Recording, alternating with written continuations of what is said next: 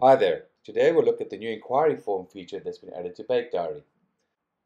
This form will allow your customers to more easily send inquiries to you directly into Bake Diary. To access your inquiry form, the first thing you'll do is go to Settings, scroll down and click on Manage Inquiry Form. On this page, you will see there are a couple of options available to you. The first thing you'll do is make sure that your form is enabled next thing you have is you have the ability to create a custom form alias. Now what this means is, as you can currently see, your URL or your web address has a long number underneath it. But in order to make it easier to remember and share with your customers, you can simply rename it. As an example would be just cakes. Now one thing to remember is that there should be no spaces in here and you don't need to add any other information, just purely the name that you want to have added to the end of your URL. Once you're done, simply hit OK. You'll now notice that the URL has updated and you have a simple form like this. Open up a tab and type in your address that you saw below here. Your inquiry form will show a single button that your customer can select and then fill out the inquiry form that feeds straight into Bake Diary. Remember, this does not guarantee an order, but purely an inquiry that you will still need to convert. I'll fill out the form and show you how it works. Once your customer has filled out the information, they'll then be able to choose the event details. This will be automatically driven from your list of event types you have in Bake Diary.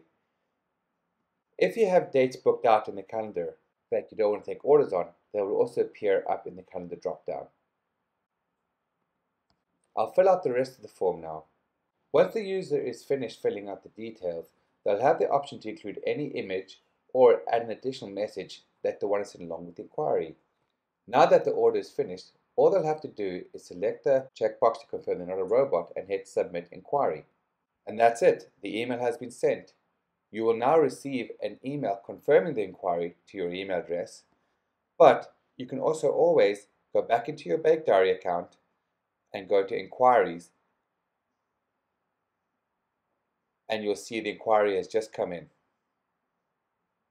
To view the details of the inquiry, simply click on it and you can see all the information that is just sent in that inquiry.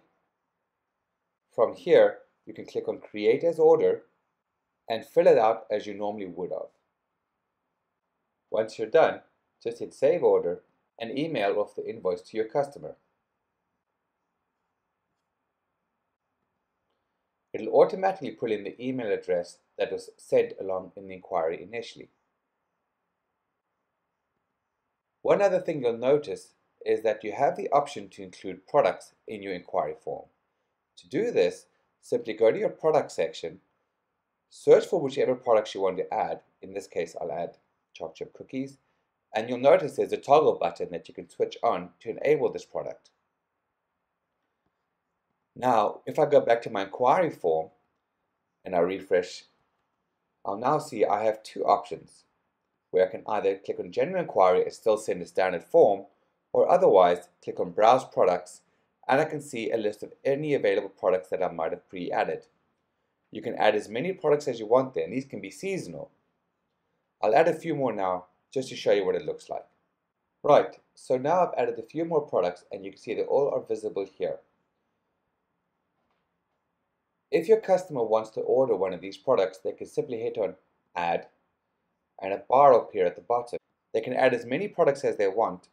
They can also always preview what products they have available or have selected. And once they're happy, they can simply hit Continue, and they'll now appear as requested items that they want to send along with this inquiry. They will still fill out the rest of the order as normal and then simply hit Send.